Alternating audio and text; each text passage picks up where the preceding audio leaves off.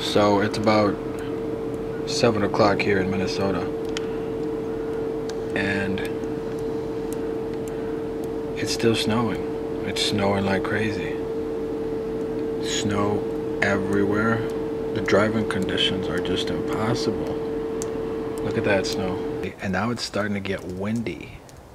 So you have wind, cold, ice, freezing temperatures, and, and people getting in car accidents. I mean, it's unbelievable. Good thing this happened on Sunday too. Because if this would have happened on Monday during traffic, man. Oh wow.